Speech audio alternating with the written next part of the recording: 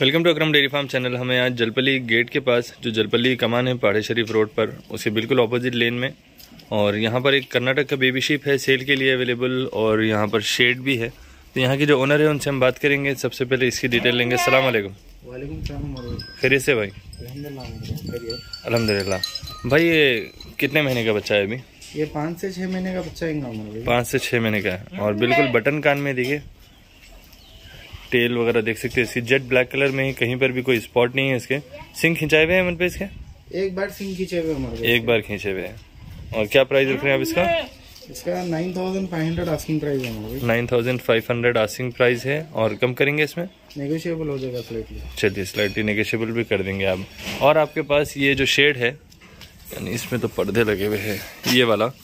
ये बिल्कुल नए शेड में बना हुआ है देखिए एंगल्स वगैरह लगे हुए हैं इसके। क्या साइज़ है इसका? इसका आप पंद्रह पे बारह इंच हमारे पंद्रह इंच आड़े में है और बारह इंच लंबान है। और ये फ्रेम खोल के कहीं पर भी फिट कर सकते हैं ना इसको? कहीं पे भी जी। तो क्या प्राइस रख रहे हैं आप इसका? इसका टेन थाउज़ेंड आस्किंग प्राइस है टेन थाउज़ेंड आस्किंग प्राइस है।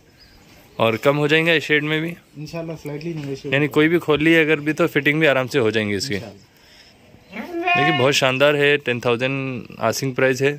और आप कहीं पर भी इसको फिटिंग करवा ले सकते खोल के आराम से।